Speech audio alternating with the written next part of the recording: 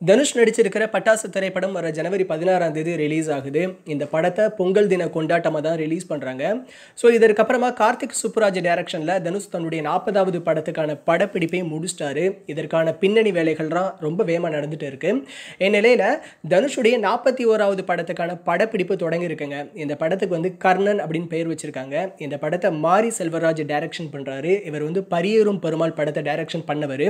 இந்த படத்தில் தனுஷுக்கு ஜோடியாக மலையாள நடிகை ரெஜிஷா விஜயன் வந்து நடிக்கிறாங்க. மேலும் யோகி பாபு நடிக்கிறாரு. இந்த படத்தை வந்து கலைப்பொலி எஸ் தானு வந்து ப்ரொடியூஸ் பண்றாரு. இந்த வீடியோ உங்களுக்கு பிடிச்சிருந்தா லைக் பண்ணுங்க கமெண்ட் பண்ணுங்க ஷேர் பண்ணுங்க. மறக்காம எங்க சேனலை சப்ஸ்கிரைப் பண்ணுங்க.